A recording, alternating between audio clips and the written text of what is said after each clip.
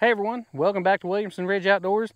Today we are out here at a log pile because we finally got our DeWalt 60 volt 20 inch battery chainsaw. Yes, I said 20 inch battery chainsaw. This saw is actually supposed to have twice the torque that a 50cc gas chainsaw is supposed to have. So I don't know what that means in horsepower, but they're saying that it has double the torque of a 50cc gas chainsaw, which is a pretty big statement. I mean, that's that's a pretty powerful chainsaw. So as soon as I started seeing their allegations and, and that this new saw was coming out and that they were going to have this 20 inch saw, you know, I, I thought, you know what, I've got to have that. I've got to have it for the channel. Got to have it for myself because, you know, I, it seems like that I go to that 20 inch saw very regularly. Let's run through this. I'll show you what we've got and I'll kind of give you my first thoughts and impressions about this. This is not a full review because I don't even have the battery completely charged up. I'm actually getting ready to leave on vacation and I wanted to get this video made before we left. So I only had a short time to charge the battery and it is showing three quarters of the way or uh, two thirds of the way charged. One of the first things that I did notice whenever I picked this up is that it it's heavy. But when I picked it up, it still had like the shipping box and everything on it but it came basically the shipping box wrapped around this plastic case. 28 pounds, 14.3 ounces. And that does not have the charger inside the case. So that's just the saw and the battery. And it doesn't have bar oil in it also. But as you can see, we're pushing almost 29 pounds for the case, the saw, and the battery. One thing I will say too, this is much bigger than most of the chainsaws that I have that are battery, like the, the Milwaukee. I've got an Echo uh, DCS 5000. Those saws, the body and everything is just a lot smaller than this. This thing has a very large handle and stuff on it. One thing that's very noticeable about it is all the grips on this is rubberized. You know, so everything actually has a real nice um, grippy feeling to it. And there's no plastic filling to any of the handles. Like everything is that rubberized feeling grip. So now we've got the saw and the battery. I went ahead and filled up the bar oil and it is 17 pounds, 4.5 ounces. So 17 and a quarter pounds. And as you can see, that is not a light chainsaw. So one of the first things on here that I can already say that I'm not real happy about this, but the the chain has got one of those low profile chains on it. I've also seen it's in some places where this this chain actually can be hard to find a replacement for. Uh, they do send a file with it to be able to sharpen the chain. But one thing I do like to see are these big metal bucking spikes. They're both on both sides. And those are nice heavy duty spikes. You don't have to worry about getting into your saw and wearing the plastic or, you know, burn that up. You've actually got these big metal spikes. It's probably the biggest on a battery saw that I've seen. The tool that comes with this for the nuts and stuff here, it's actually a little short tool. And I was actually sitting there a few minutes ago trying to break those nuts loose with it and could not get them loose. It is really handy because the tool actually stores right here in the handle. But as you can see, it's super short. And from the factory, they had these things torqued down so tight that I couldn't break that loose with this little short tool. And I actually had to bring this one out here to be able to break the nuts loose.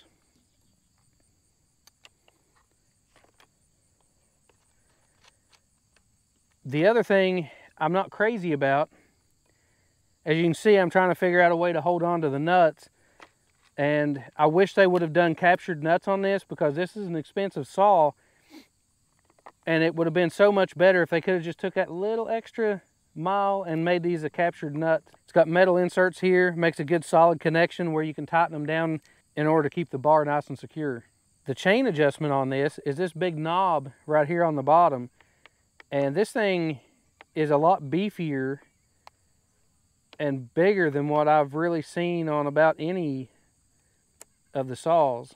And it's just kind of typical adjustment. You turn it left for loose and right for tight. Everything else inside here is pretty much standard. Uh, you see it's got your metal studs here. Your chain adjustment sticks through the bar right here. Actually, let's take a look see at the oiler and see how that actually works loosen that up just a little bit.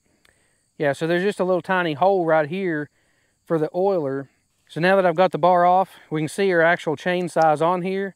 It is a 3 8 low profile, 68 drive links, and it is a 50 thousandths chain, so I am glad to see that instead of that little 43 thousandths. This cover on here is actually pretty beefy feeling. It's, it's pretty stiff plastic. It's not a real thin, uh, flimsy stuff at all. So, and it's easy to line up. You just line up your stud holes and your uh, chain adjustment, and it slips right back on there. The main thing is just keeping up with the nuts and not losing them. And then our wrench slips right back into the handle and locks into place. So this particular setup that I got, this one actually comes with the 15 amp hour battery. And I believe the way this actually works, it's 15 amp hour if you run it as 20 volts, but it's only a 5 amp hour if you run it as 60 volts, which is what this chainsaw is. But it'll be interesting to see how long the 5 amp hour actually lasts in this saw with all their power claims. It's got a regular chain brake, just like pretty much any other saw, whether it's gas or battery. Uh, you push it forward to lock it. That keeps you from starting it. Pull it towards you, and that unlocks everything. And then you also have the thumb safety right here. You have to push it down and then pull the trigger.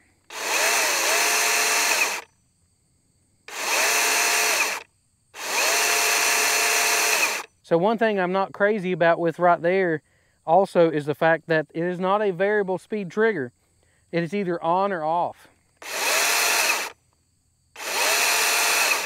So I would have thought that with the saw in this price range actually that this would have been variable speed and you know you would have a lot of control with that trigger. So enough talking about this thing. Let's put it into a couple logs and see how it does. Uh, like I say, the battery is actually two-thirds charged. So I'm gonna try it out for a few minutes and uh, kind of give you my first initial impressions on this and uh, let you know what I think about it.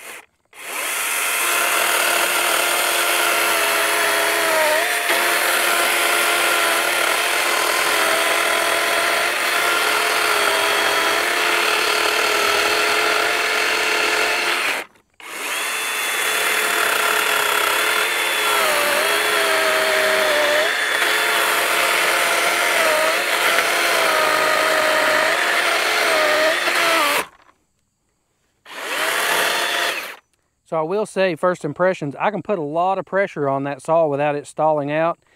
But it seems like that the speed of it is fairly slow on the chain compared to some of the others. Some of them you can put pressure on them and it'll actually feel the, the, uh, the resistance on it and it'll take off and put more power to it. This one feels consistent all the way through.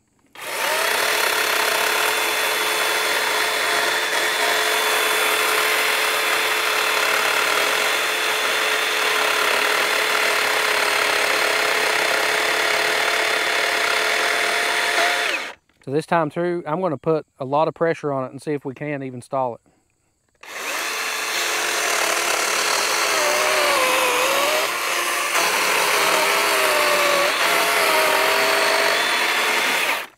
So let's keep moving on. It actually, uh, it has a lot of power, but like I say, it doesn't seem like the chain speed is really fast.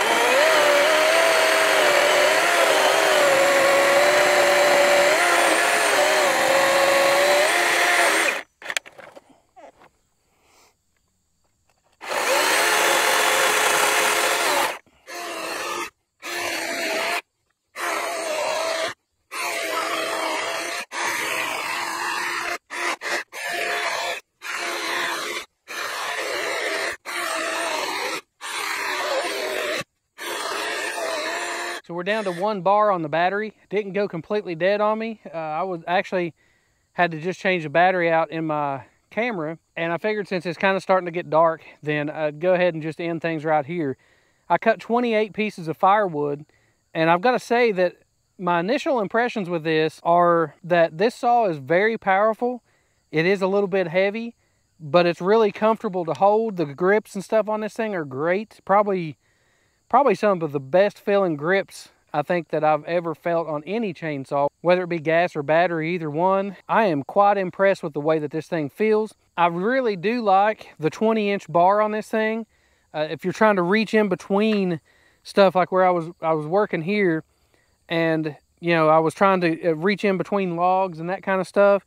You can reach out there and kind of get to that kind of stuff. It doesn't feel like you're, you're reaching so far to get to it. There's going to be a whole bunch of use and a whole bunch of testing done on this saw. It, like I say, it's kind of been long awaited and this 20 inch saw, can it be used as a daily saw or is it still just kind of a hobby saw like you find with, you know, a lot of your other battery saws? If you got one saw and one battery, can you actually run it from a full charge to dead without it overheating? Can you just continuously run it?